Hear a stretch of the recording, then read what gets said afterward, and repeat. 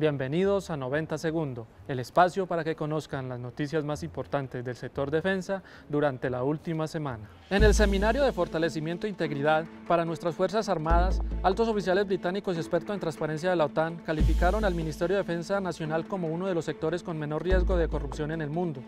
El ministro Villegas participó activamente en una reunión de trabajo del gabinete del posconflicto, el cual es liderado por el presidente Santos.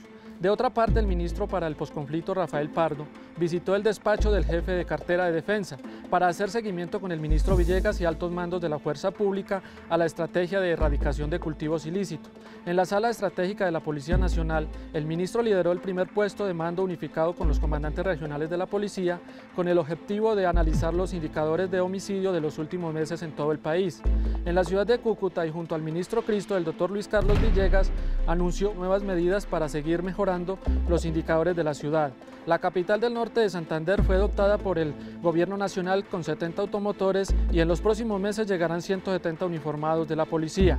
Finalmente, el ministro Villegas aprovechó su visita a esta ciudad para, en nombre del Estado, ofrecer disculpas públicas a la familia del ministro Cristo por el asesinato de su padre, Jorge Cristo, hace 20 años en manos del ELN. Hasta aquí el resumen semanal del Ministerio de Defensa en 90 segundos.